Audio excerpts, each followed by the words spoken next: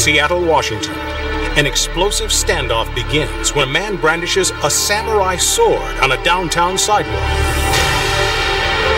A friend of the man confirms authorities' worst fears. Yeah, he knows how to use the sword. Everybody on the Police quickly cordon off the block. Everybody on the curb. Over there. A SWAT team arrives and surrounds the man. They begin talking to the suspect, trying to persuade him to drop his weapon. Everything's about talking to people we go to the scene. That's the first thing we want to do.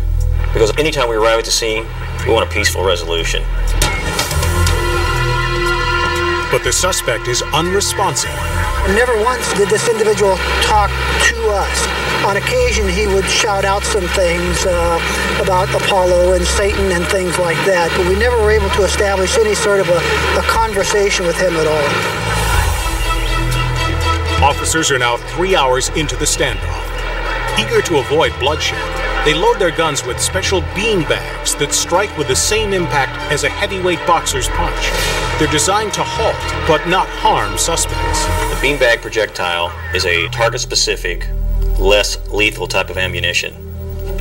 It's a two-inch square canvas bag filled with lead shot.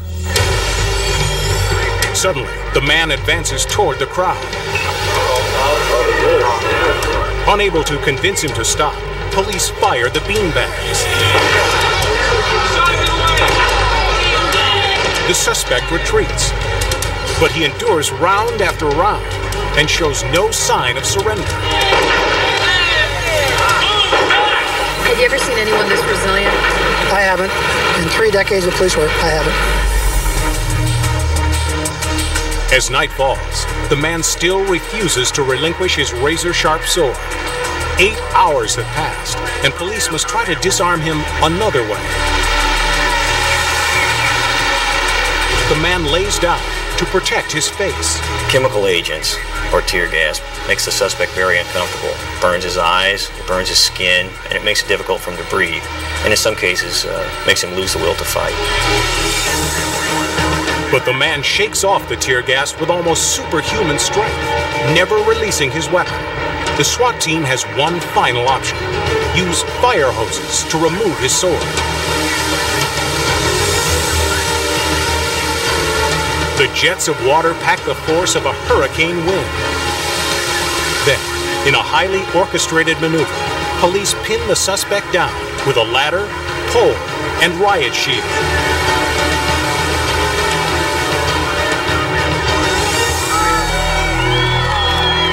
Eleven hours after the standoff began, the SWAT team finally disarms the suspect.